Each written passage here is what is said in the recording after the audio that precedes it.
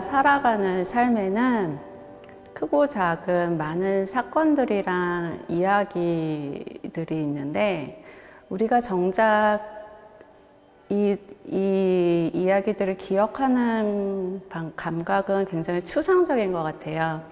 그래서 정소영 작가의 작업은 이런 추상적인 감각을 조각의 언어로 해석을 해서 조형적으로 구축을 하고 있는데 이번 전시는 눈으로 보기에는 추상적인 이러한 형태들 안에서 우리가 살아가는 구체적인 이야기들을 따라가 보는 그리고 경험해 보는 그런 전시입니다.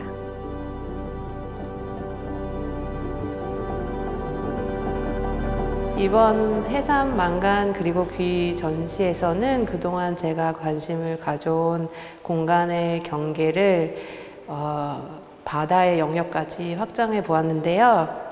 어, 2018년도에 제가 어, 가파도에서 섬에서 생활하면서 느꼈던 그 바다의 해역의 문제 그리고 더 나아가서 바닷속에 있는 생물의 시간 그리고 그 해적까지 미치고 있는 인간의 여러 경계망 등에 대해서 어, 질문하는 작업들을 어, 전시하고 있습니다. 어, 이번 전시를 준비하면서 어, 예전에 생활했던 가파도의 그 어업에 관련된 이야기 그리고 섬과 암초의 지정학적인 경계에 대한 이야기 어, 이런 것들을 다시 재정리를 해보았고요. 그리고 또 어, 서해안에 다니면서 그 육지와 바다의 경계 가 어떻게 각각 서로 다르게 인지가 되고 어떤 생활들이 이루어지고 있는지 어, 좀 관찰을 해봤어요. 그래서 거기서 건져, 건져낸 어, 폐어망이라든지 아니면 조개 껍질이라든지 그런 것들이 사실 그 바닷속에 있는 우리가 인간이 어, 인간이 미치지 않는 그런 영역이라 할지라도 서로 어, 함정을 만들어내고 교차하면서 어, 생겨나는 그런 충돌과 삶의 영역이 이렇게 교차되는 그런 것들을 좀 볼 수 있었어요. 그래서 이번 전시에서는 어, 어떠한 영역이 구분되지 않고 음, 어, 마치 어망에서 얽히고 설키는 그런 감각이라든지 아니면은 물 속의 소용돌이의 느낌이라든지 어, 그러한 움직임 그리고 생명 이런 것들을 좀 전시에 담아보려고 했어요.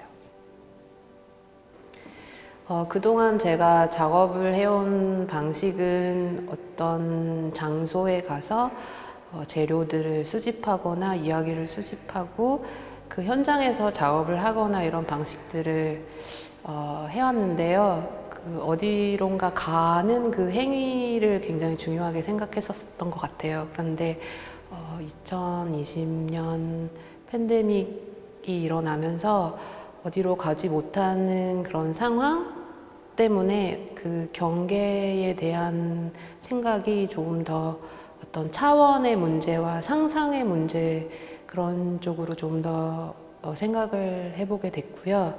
그래서 어, 정말 가지 못하는 바닷속에 대해서 상상을 해보게 됐어요.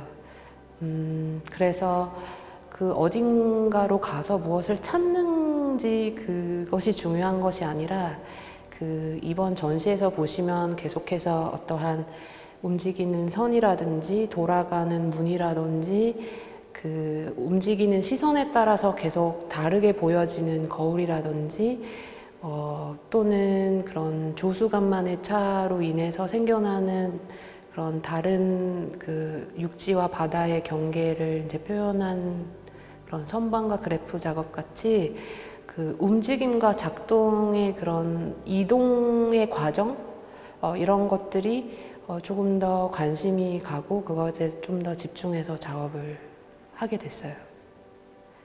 그래서 음, 무엇을 찾느냐, 무엇을 이야기를 전하느냐에 대한 것보다는 그것을 상상을 통해서 다가가는 과정, 그리고 과정 속에 생겨나는 원리와 그리고 거기서 각각 다르게 인지하고 기억하는 방식들 그런 것에 대해서 어, 생각해보는 전시가 됐으면 하는 생각입니다.